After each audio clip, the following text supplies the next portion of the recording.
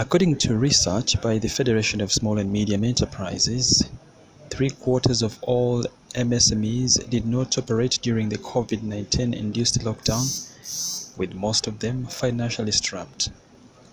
Despite government's efforts to work jointly with financial institutions to raise 200 billion shillings, the uptake of the facility has remained low, and this is worrying.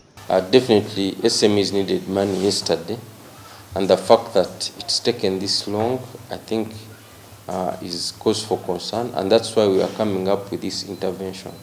Yes, some SMEs have collapsed, some SMEs have moved on, but there are a number of businesses that are still there and require support, and they deserve to know what they need to do in order to access the Small Business Recovery Fund. So our intention is to ensure that they are informed and that they give it a shot.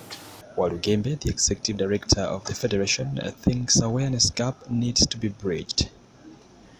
Now, the federation is looking to engage MSMEs and encourage them to apply for the funds despite the tight restrictions set by the banks. It's our intention to invite the banks. Some banks have done better than others, so our intention is to try to introduce those banks that have appreciated the Small Business Recovery Fund and are willing to disperse funds. There are those funds that are very hesitant and have not uh, dispersed any money. Um, I think engaging them will be for another day, but for now we want to work with those that we believe have bought into the Small Business Recovery Fund.